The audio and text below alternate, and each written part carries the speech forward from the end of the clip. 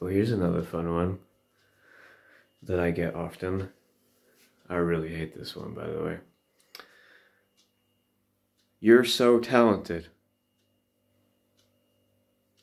You're so talented, Michael. No, I'm not. Never have been. I don't even believe in talent. I think people have an aptitude for certain things. And when you have an aptitude for something, you know, maybe you're tall, so you go into base basketball and you know, you find that you can score better than other people, you know. And so you naturally have a positive reinforcement there. So you learn to love the sport you're playing. That's an aptitude. It's not a talent. All all all you're doing is you have a, an entry point, you know. But if you inject will into the beginning of that process, you know, you have somebody that wills themselves to be good or wills themselves to make the steps to in you know learn to enjoy something. Doesn't matter what it is. Then they practice it. And you practice it. And you practice it until you get good at it and then you enjoy it. It's just to me it, it it's it's almost mathematical you know, you know but people always chalk it up to talent they, like this idea of this ethereal thing this natural excuse to not try talent. Oh, he's, he's such a good artist, or he's incredible linguist, or whatever. He's such a natural at it. He's such a talent. And I know there are fringe circumstances. This is where people come in and they're like, well, what about, uh, what's that swimmer called? Phelps? I don't know. Or was he the, the cyclist. I don't know, the guy that looks like a fucking fish, the American who wins all the medals. Um, I understand there's fringe cases like that where a guy is literally like a freak mutation, so he's just better. You know, that's okay too. You don't have to be the best though. You know, and it's, it's you don't have to be the best. You can just be like a world class whatever, and and you can work hard and do that. It's not talent.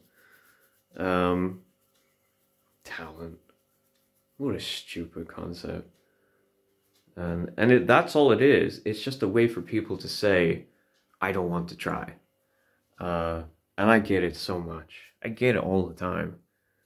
You know, you post your art. Like I'm not even that good too. You post your art or your wood things and people are like, oh, you're so talented. Like, fuck off.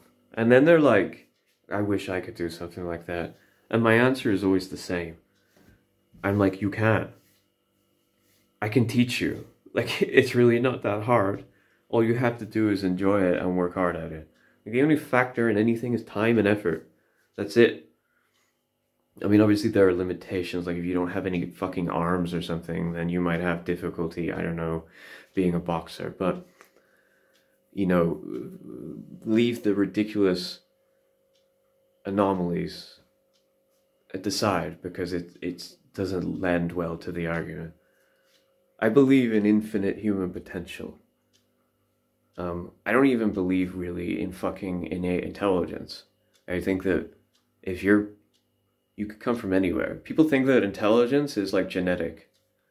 It's not genetic there's some aspects to it that are genetic, but everything that you learn through life, if you're in the right environment and you have the right interests and you have forged yourself a will to be better, then you can learn anything. Anybody can be anything.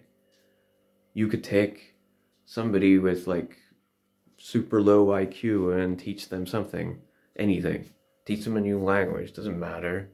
Teach them uh, how to run some sort of machine, become an engineer. I don't know like they might not be the best at it, but I just don't see the point in saying you can't do something. To tell people that they you you know you don't have the, the aptitude for it, you don't have the talent, you know the potential.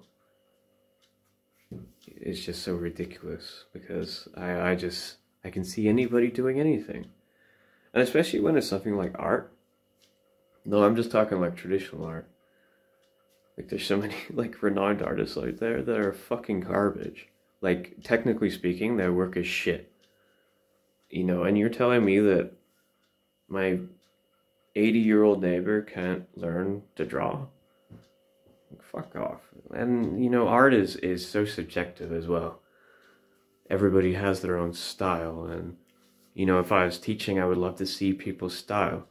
But you can't do that if the the initial motivation is not there. If somebody has already defeated themselves before you even start, you know, um, if they're like, oh, I, I can't draw, I can't run, I have two left feet, I can't do this because X, Y, Z. Yeah, it's just so pessimistic, you know? I have to wonder where that comes from too, because it seems so convenient uh, to keep people down. But I just see potential in everyone. And I wish I didn't, because it means that I care more. And I don't want to care, but I just see potential. I don't believe in talent. You just have to work hard. You have to want it. That's it. This is the only thing really that ever matters, ever. Just fucking work hard.